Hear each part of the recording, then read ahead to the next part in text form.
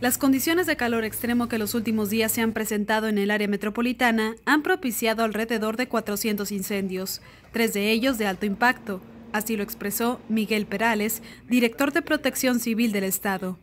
El funcionario detalló que las áreas más comunes en las que se han presentado estas condiciones de alerta son los terrenos baldíos, vehículos, empresas, casas habitación y negocios. Es un mes muy crítico, estas altas temperaturas han eh, pues, cruzado varios récords, récords históricos de altas temperaturas en el estado y obviamente han sido un factor importante para todo esto que ha estado pasando. Los últimos tres eventos de alto impacto, pues ya lo recordamos, el del ranchito en Guadalupe, el accidente y posterior incendio de la pipa en Israel Cavazos y la carretera Reynosa y el día de ayer esta empresa. Aumenta el riesgo de que se pueda propiciar un incendio en cualquier momento de manera incluso espontánea con algunos materiales y por otro lado obviamente la propagación es muy también muy importante que, que avanza más rápido obviamente por las altas temperaturas. El incendio registrado ayer en dos bodegas propiedad de la misma empresa, ubicadas en la colonia Hacienda Los Morales en San Nicolás, detalló Perales, se almacenaban productos de belleza, entre ellos aceites minerales, que con las temperaturas altas propiciaron el siniestro.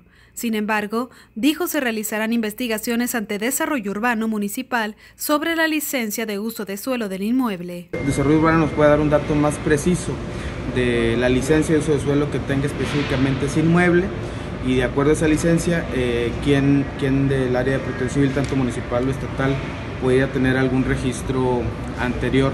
Nosotros estamos ahorita tratando de ubicar si en Protección Civil del Estado tenemos algún expediente de este lugar.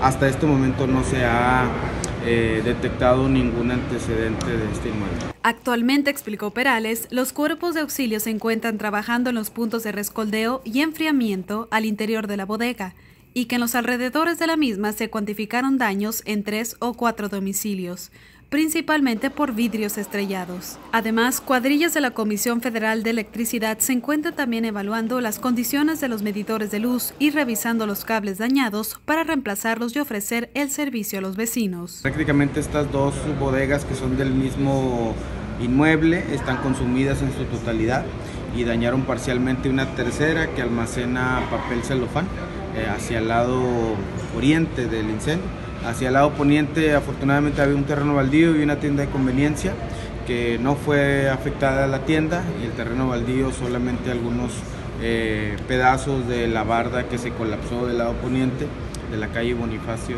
Salinas. esos son los daños que se aprecian. Sobre la búsqueda de Juan Higinio Godínez Nava, presunto guardia de las bodegas y que inicialmente fue reportado como desaparecido, Perales dijo que la autoridad tiene reporte de que esta persona se retiró al inicio del incendio. Con información de Elena Torres, para Informativo Nuevo León, Rosalinda Cadena.